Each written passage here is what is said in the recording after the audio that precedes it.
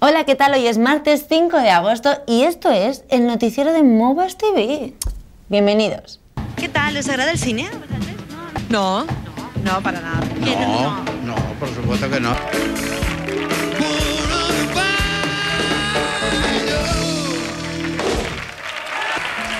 ¿Qué tal, Miriam? Muy Muy buenas bien, muy bien. Qué lujazo tenerte aquí. Qué lujazo que vengas tú. Yo voy. Yo siempre estoy aquí. Yo estoy en una discoteca, viene un tío que está, pero... Sí, ¿no? Como Antonio Canales, ¿no? Y claro, ¿no? pero yo que tengo novio, le tengo que decir que no. ¿Cómo le digo? Sutilmente, mira, tío, estás como un tren, pero va a ser que no. Hace así, ¿no? A ver cómo lo gusta. ha hecho. Mira cómo lo ha hecho de bien. Ole, ole, Hola Javier, estamos en el Ministerio de Fomento y vemos que la huelga está haciendo estragos aquí también. Y bueno, me he recorrido todos los pasillos buscando a la ministra, a Magdalena Álvarez, y la he encontrado aquí en el baño. Dígame, dígame. Hable con Solve. ¿Sí? Dígale que le prepare unos millones para que en cuanto yo salga poder solucionar el tema de la huelga. Vale, vale, pues llamo, llamo a un cerrajero de paso. Vale, venga, hasta luego. Pues me voy al Ministerio de Economía, Javier. Ayer tuvo lugar el primer encuentro de la legislatura entre el presidente del gobierno y el líder de la oposición y bueno, tuvieron grandes acuerdos sobre justicia, pero en economía pues discreparon. Sintonía. Y claro, que lo diga un experto de la talla de Johnson, pues como que asusta un poco. Hablamos del periodista de la COPE Federico Jiménez de los Santos, que ha Ah. sido condenado por un delito de injurias Ya, graves ya, claro. contra Alberto Ruiz Gallardón, el alcalde de Madrid. Va a tener que pagar 100 euros al día durante un año. Merche, què et sembla, fins al moment, el programa?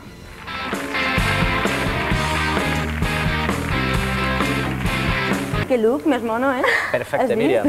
M'agrades. Mira, Ramon, jo vinc a muntar-te el pollo. Sí. Perquè la televisió sense atrezzo és com, com la cervesa sense alcohol. El gobierno chino ha dado un cuestionario a sus ciudadanos para que si los periodistas les preguntan, sepan qué responder. Pues me parece muy mal, muy mal porque mi primo de Móstoles quiere venir y tiene un restaurante chino ahí. La respuesta correcta es el no conocer esta normativa. A mí no afecta al. El caso, el caso es que a mí estos chinos me suenan de algo y no sé de qué. Tras la polémica y llamados ante el juez, la revista publicó esta otra portada bastante más dulce y light, pero con el mismo mensaje. ¿Te acuerdas ese cómo era, tío? ¿Cómo era el de...? ¿Cómo era, cómo era? El de los tres personajes que se parecían a nosotros. Los ¿eh? tres cerditos. Eh, tenían tres casas, ¿no? Sí. Una chula que te cagas. Sí. Otra que ni fu ni fa. Ah. Y otra de unos 30 metros cuadrados. Una mierda, Una mierda. Exacto. Oye, acuérdate de mí cuando estés ahí de vacaciones. No, no, sí voy a estar por aquí. Ah, o sea, que vale. no, tú tranquila. Eh, bueno, pues yo os veo el lunes, a vosotros. Yo no, pero, a él pero no, como si pero a mí sí. Un beso, chao. Estem en directe. Sí, bueno, voy a decir eso, ¿no? Lo que quiero deciros a todos es... Gracias. Uh. Feliz... Ay, perdón. La verdad es que George Bush sabe de lo que habla, ¿eh? De Wall Street, él sabe de. De- no, no me refería a la economía, me refería a la, alcohol y tal, y la, la resaca. Bueno, ¿qué más da? Que sabe de lo que habla, sí. ¿Qué es? ¿Qué es? Hace 10 años el metro cuadrado de la vivienda costaba de media 645 euros y hace 10 años Antonio y Pedro no se podían casar entre sí.